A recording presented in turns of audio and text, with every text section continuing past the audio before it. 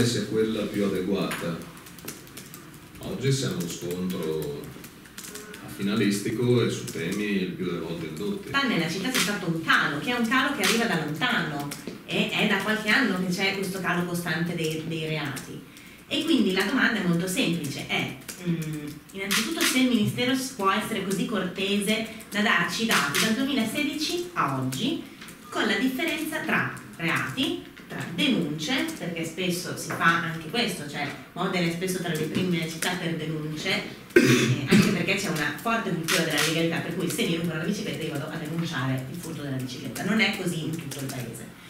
E quindi differenza tra reati e denunce e tipologia di reati. Questo diciamo è questo. Mi spiace che appunto poi dopo ci sia stata questa polemica cavalcata anche dai candidati eh, dai candidati del centrodestra su questi dati che sono dati appunto si rivolgono alla provincia e che comunque sono dati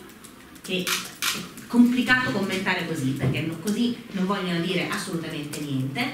eh, e gradirei eh, che il Ministero dell'Interno, il Viminale e tutti i suoi organi, quindi le prefetture, le questure e tutto quello che eh, dipende dal Ministero dell'Interno si comportasse in un modo eh, appropriato, soprattutto in un momento così delicato, soprattutto in una città come Modena, che ha una storia molto lunga, eh, dal 53 diciamo, da quando sono state le fonderie, che c'è un rapporto molto schietto e tranquillo tra prefettura, questura e, e, e comune, e quello che sta succedendo in questi ultimi giorni secondo me è una cosa che eh,